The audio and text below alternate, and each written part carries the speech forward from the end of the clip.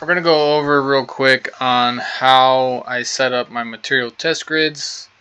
Um, today we're actually on the F1. So you can come over here to basic shape panel. You can select any of these shapes if you wanted to. You can make any vector into a test panel. That's how Xtool uses their X's. Um, I'm going to go up here and actually just select a rectangle. And when I'm drawing rectangles onto the canvas, I actually like to hold down the shift key while I click and drag. This keeps the square or the angles at a 90 degree, um, keeps them nice and crisp. Um, that way we're all parallel. Um, otherwise you let go of the shift key and we have this going on. Again, when you're going to release, release the mouse before you release the shift key, otherwise it's going to change. Now I'm going to just press the decimal point on the mouse pad or on the keypad and I'm going to put uh, 5 for a half inch. Click enter.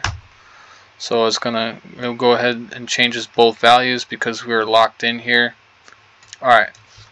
So now that we have that set, I have a reference here of basswood selected.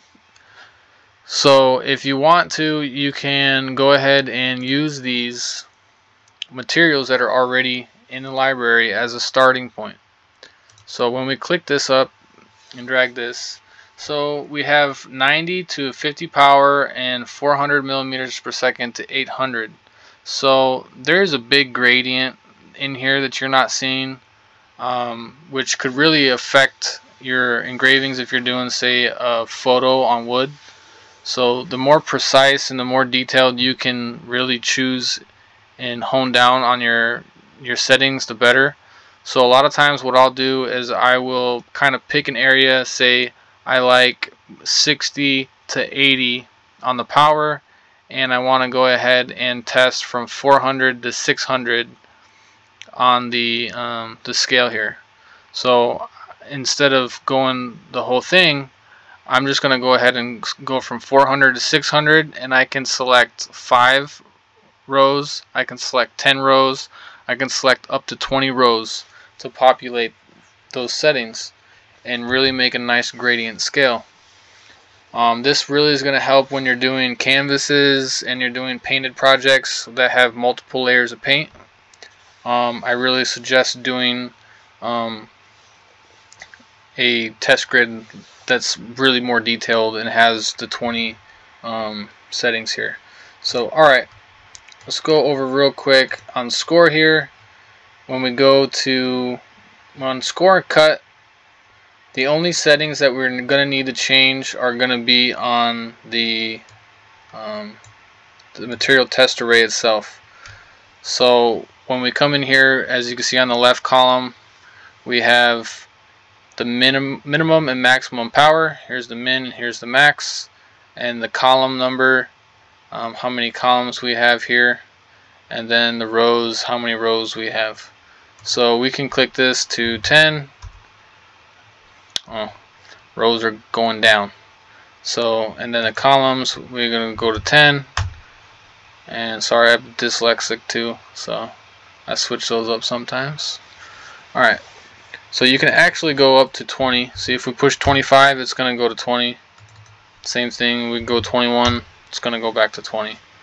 So you can go up to 20 by 20 and this is really going to take up a really large area but um, as you can see I'm going to go back to let's say 10 by 10 so we can actually see everything. And if you click anywhere in here it will change.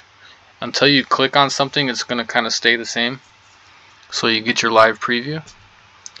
Alright so say we wanted to do the 400 as our max and the 200 as our minimum.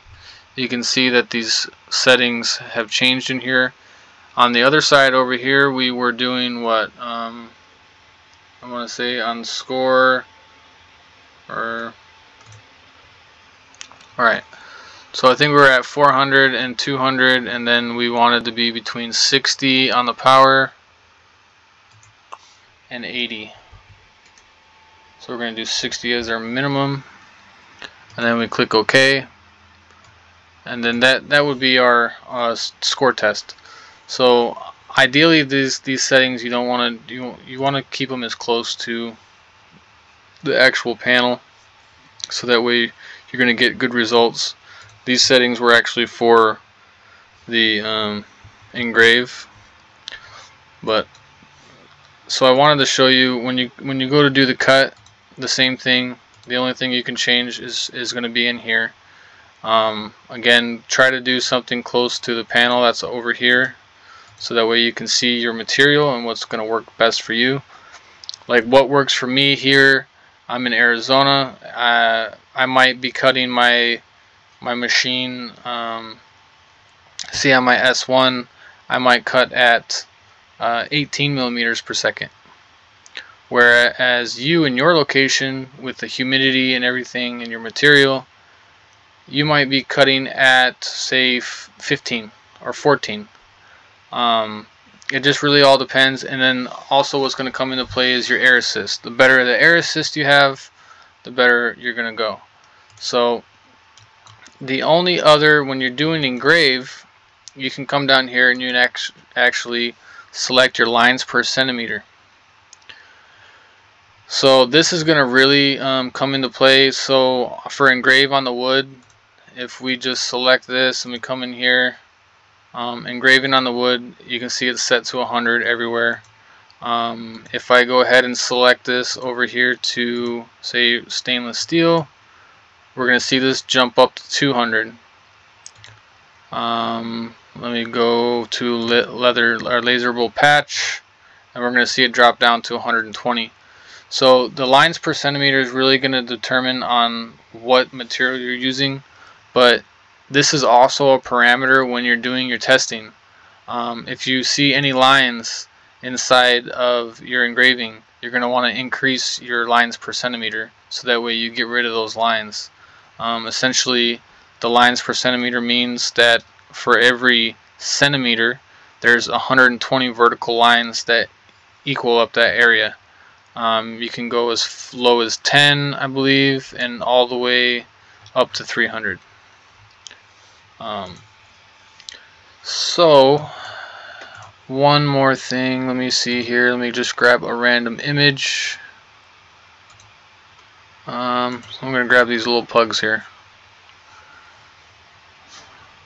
Alright, wow, those are big. Alright, so now that we have these little pugs, I'm going to show you real quick. Um, we can actually use this to do a material test array. So you can see the dot duration over here and the DPI. So just like on the engrave for the vector, the DPI is going to be our basically our lines per centimeter.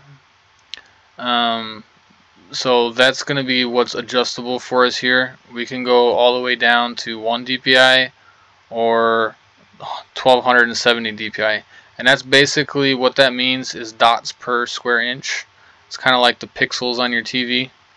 When you want to watch uh, TV at your friend's house and they only have a they have an old HD TV and it looks all grainy and everything because you're used to watching your nice 4K with HDR. That's basically what what's happening here is we're increasing the the DPI. We're increasing the um, focus.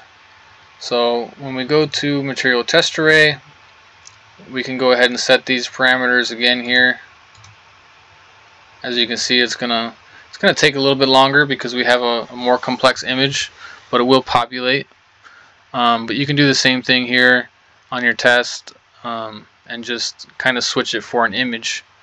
Um, definitely also like when you're engraving onto a piece of wood, having your engraving set up like this is just fine. Um, say when you're going to go ahead and engrave onto metal or dark a dark surface let's go ahead and grab that you're going to want to do your material test in an inverted position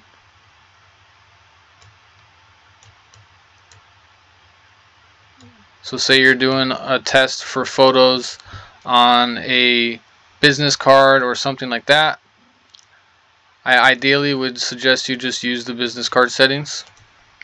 but as a starter and then go in there and then you're gonna want to adjust your image and what I usually do is increase the sharpness a little bit just dip the sat grayscale down just a touch.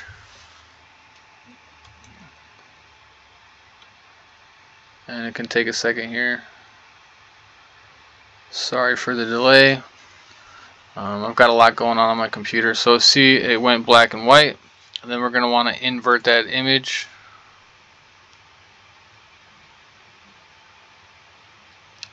basically this dog is going to become black and this one's going to become white. Um, alright.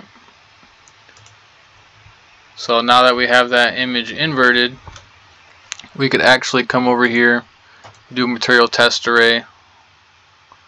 We'll do the 5 5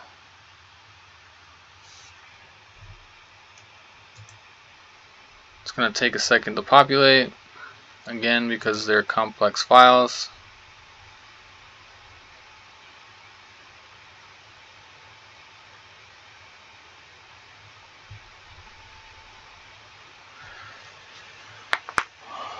I hope everybody's enjoying the video and actually learning a little bit. If there's anything that you need me to go over in more detail, please feel free to just ding me. Just be like, hey, I need you to do this, do this a little bit better, go into a little bit more detail. I'm trying to cover a little bit of everything with this video because the material test array is actually a pretty it's a pretty complex tool if you really if you really get down to it you can do a lot with it um, and it's a very useful tool. Um, once you get the hang of it, you're gonna be you're gonna be kind of wishing you probably didn't know how to use it because you're gonna be testing every material you have every, and every material you can get your hands on. All right. So as you can see, you can you can kind of get the gist of it. It's it's going around. It's just taking forever. I'm gonna go ahead and try to cancel this.